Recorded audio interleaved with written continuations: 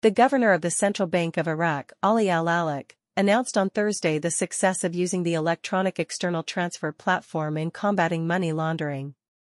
This came during al-Alaq's participation in the Arab Forum for Anti-Corruption Bodies and Financial Investigation Units in the Kingdom of Saudi Arabia, according to a statement issued by the bank's media and received by Shafaq news agency. Al-Alaq delivered a speech about the efforts of the Central Bank of Iraq to spread financial transparency and collect information about the true beneficiary and exchange it at the international level, stressing the recent measures taken by the Central Bank of Iraq represented by the use of the electronic external transfer platform, which effectively contributed to determining the identity of the true beneficiary and prevented the use of external transfers.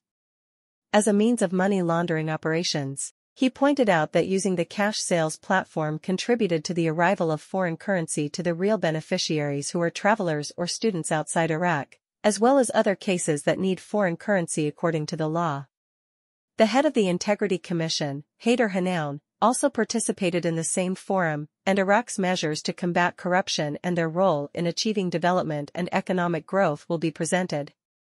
Hanoun pointed out that international reports spoke of growth in the Iraqi economy represented by an increase in domestic product, an increase in non-oil revenues, and a decline in inflation. The head of the authority warned that corruption causes a decline in investment rates and a general budget deficit.